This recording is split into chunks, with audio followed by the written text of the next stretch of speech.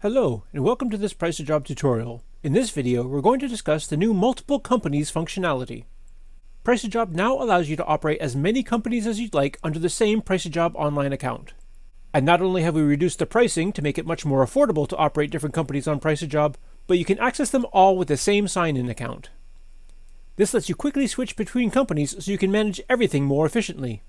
You can share and import data between your companies, and copy and share projects between companies.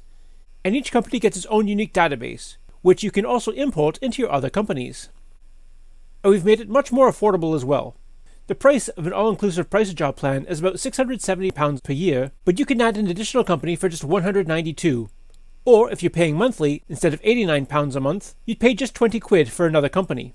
If you're a Price Job Power user, you can see that the pricing drops quickly the more you scale up.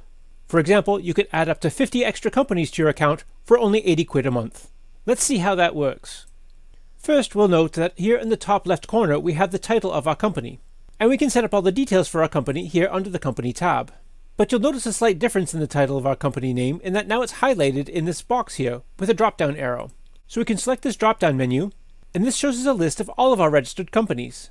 Currently we only have the one company registered, so if we'd like to add a new one, we just simply click plus add company. And then we give our new company a title. We'll call this one Best Builders. And save. And this creates a new company information window for our new company Best Builders. And if we look at our drop down window here, we can see that we now have options of two companies to choose from, and we can flip between them very easily by selecting Tribute Builders here or Best Builders here. And here on the company information window, we can fill out all of our details. So for example, here under company name, we can put the full company name. Perhaps we have a numbered company attached to this. So 1099845-32 Limited. Now if we have a very long company name, the company name field here in the top left gets a little congested. So to tidy that up, we can also specify a company display name. So here we might just call ourselves Best BLDRS for short. And this display name is used here in the top corner, which is much tidier to refer to. And then we can go ahead and complete the rest of the details, including our company address, email, website, telephone, mobile, company number, VAT registration, VAT number, accounting information, and default settings for profit margins and rounding. Now, if we wish to add another company, we can go back to the company name drop down menu here and select plus add company, and we'll call this one AAA renovations and save. And you'll notice that this time we get a price pop-up screen. And here we can choose either monthly or yearly rates. And you'll notice that the yearly rates enjoy a 20% price advantage over paying monthly. So if you're an estimator or a quantity surveyor or do a lot of estimates, and maybe you have 30 or 40 builders always asking for quotations, you can just go ahead and buy a multi-company license for 50 users for only 80 quid a month. And then you can go ahead and set up all of your builders' companies with their specific logos and tradespeople rates, their own unique databases, and it's all hassle free. You can just switch companies and all your rates for that company are already there. Just select the company you're quoting for, do your quotation, and generate your reports.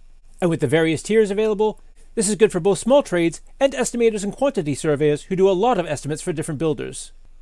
Now let's close this window momentarily here, and we'll see that our new company, AAA Renovations, is marked with a D meaning it has demo access to the company. And this new company is marked in gray, and this is pending the paid license. To purchase the license, we can just go ahead and click the upgrade button here in the top right, and then here we can select to add an extra company. Then we can choose from the drop down menu how many companies we wish to add. We'll select 50. And then we can opt for either monthly or yearly pricing. And as mentioned, the yearly pricing includes a 20% discount over monthly and is therefore the best value. And then you can agree to the terms and conditions, and please note that you can only use a maximum of three devices per user, and only one device is used at a time. Meaning if you're currently logged into one device and then log into another, you'll be automatically logged out of the previous device. Your subscription will auto-renew every 12 months until you cancel it. Once you agree to the terms and conditions, then you can check out. And the checkout process is simple. Now, if you wish to delete a company, just select the company you wish to delete. In this case, we'll delete AAA Renovations. And then scroll to the bottom of our company information page, and that's located here under the Company tab. Scroll to the bottom, and we see an option here to delete company. And we can confirm that deletion. And that is removed from our registered companies list. And to switch companies, we just select the company that we wish to work on, in this case, Best Builders. And once we're done setting up all the company information and accounting information and default settings, then we can start adding customers as well. So to do that, we'll select the Customers tab here, and then start adding customers. And we can click plus add customer here in the top right. And we can input our customers manually by giving them a name here and going through the process, or we can import them from our other companies by selecting import. And here from the drop down menu, we'll select the company that we wish to import our customers from, in this case, our other registered company, Tribute Builders. And here we see a list of our customers that we already have input under Tribute Builders. So we can select these individually if we wish, or simply select all. And we can choose to copy the notes and copy the documents as well. And then we can go ahead and import. And now all of our customers from Tribute have been imported into Best Builders. And now we can do the same for staff. Let's go to the staff tab here and go ahead and click the plus add staff button here in the top right. And again, we can import our staff manually, or we can import them from our other company. So we'll go ahead and click the import tab. And once again, we'll select the company that we wish to import from, Tribute Builders. And again, we can select our staff manually or select all and include to copy notes and copy documents and then import all. And now all of our staff have been imported over from Tribute into Best Builders as well. We can repeat this exact same process with our suppliers by clicking Add Supplier and import our suppliers. We can do the same with subcontractors by adding subcontractors and importing those. And we can also import our plant and tools from our plant manager and import our fleet from our fleet manager.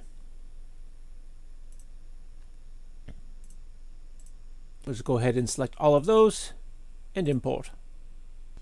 And we can also import our various resources. For example, if we've added custom items to our database, for example, materials, here we can go ahead and click plus add material and import. And then here at the top, we'll select the company we wish to import from, in this case, Tribute Builders. And all materials is selected, which is the system library. So what we want to do is select my library, which is all of our custom materials and we can choose these piecemeal or select all, and all these materials and their rates will be imported into our new company. And we can do the same thing with our tradespeople. We can import those, and labor rates, we can import those. A plant and tool, we can import those, and other costs as well. So this allows you to share your various resources between companies and customize all your reports. And if we look at the accounting tab here, we'll see that the accounting is held separate for each company. And this allows you to track your estimates, income, payments, expenses, hours, and profits for each company separately. If we take a look at the estimate tab here, and then we select our projects drop-down menu here, we can see that our new company has only one project listed, the first project, which is set by default. We can add more projects here manually, or we can choose to import these from our other company. We just select the import checkbox here, select the company we wish to import from, Tribute Builders, choose the project we wish to import, let's say it's 23 Sparrow Way, choose the version of that project we wish to import, in this case there is only one version, give our project a title, in this case it's 23 Sparrow Way, and save and this project is added to our estimate. And in just a couple of seconds, this very detailed project is imported from our other company with all of the completed modules intact. And if we wish, we can add any modules that we need to. Let's just add one more module here. Just to add some drainage.